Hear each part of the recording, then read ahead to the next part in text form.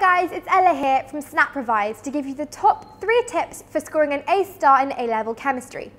My first tip is to know your reactions. Now you need to know these inside out and back to front. Just like a craftsman needs his tools to perfect his work, a chemist needs their reactions. Reactions and equations will often require rearrangement or application to foreign concepts, and you won't be flustered if you know these reactions very, very, very well. My second tip is to make sure your answers are complete.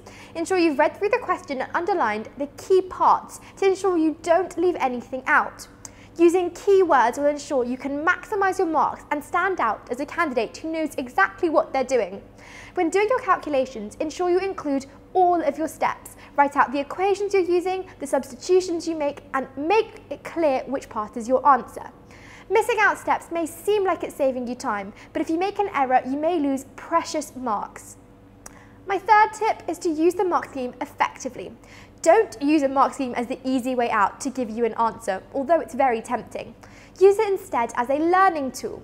Mark schemes can show you what the examiner wants from a certain question and can help you to improve further answers.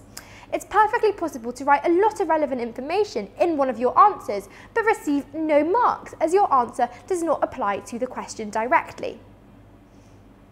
Hey guys, I hope you enjoyed the video. If you're looking for an amazing A-level chemistry resource, join me today in my series of engaging bite-sized video tutorials. Together we will concisely cover all the important concepts required by your exam board specification, as well as practically applying what we've learned through exam-style questions, focusing on how best to structure our answers in order to maximise marks. See you soon, and together let's make A-level chemistry a walk in the park.